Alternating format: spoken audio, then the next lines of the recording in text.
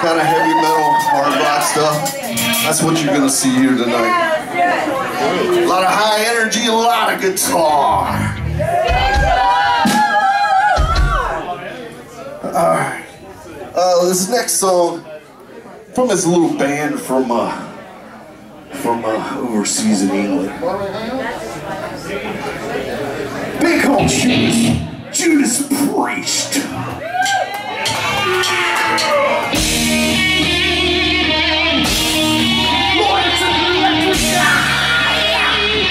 Yeah.